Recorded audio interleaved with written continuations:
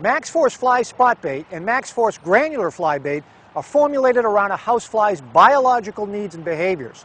So understanding basic housefly biology will benefit your fly management strategies. The common housefly causes a number of problems. Stress and distraction to humans and animals. Spreading disease. Large populations can migrate, causing potential problems with neighbors. They soil surfaces with fly dirt and portray a dirty or unhealthy image. Houseflies are common all over the world. The adult housefly is a drab, gray-colored insect slightly longer than a quarter of an inch. Distinguishing markings on the housefly are four narrow black stripes on the top of the thorax and a sharp angled bend in the fourth wing vein. Its face has two velvety stripes which are silver above and gold below. Females lay eggs in decaying organic matter, producing up to 1,000 eggs in their lifetime. Under suitable conditions, eggs hatch in less than 24 hours into the cream-colored larvae we know as maggots that burrow into the food material on which they hatched.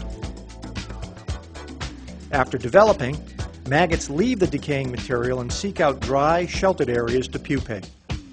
When fully formed, the adult fly breaks open the end of the pupal case and emerges. The adult flies will live one to one and a half months. During suitable conditions, two or more generations may be completed in a month and populations peak in late summer or early autumn. Houseflies have sponging, sucking mouthparts which enable them to ingest only liquid materials, so they cannot bite or chew solid foods. Houseflies can also taste with their feet, so when they land on something, they know right away if the surface is food that they want to consume. Like all insects, houseflies are cold-blooded. That's why you'll see them resting in patches of indoor sunlight on floors, walls, and ceilings early in the day. Outdoors, they prefer to rest in warm, sunny areas without too much air movement.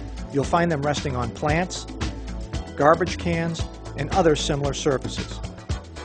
Houseflies prefer to land on corners and edges, and thin objects such as wires and strings. Now that you know more about housefly biology, you can understand how a resource site like this compactor contributes to fly population problems around your accounts. For more information, visit epestsupply.com.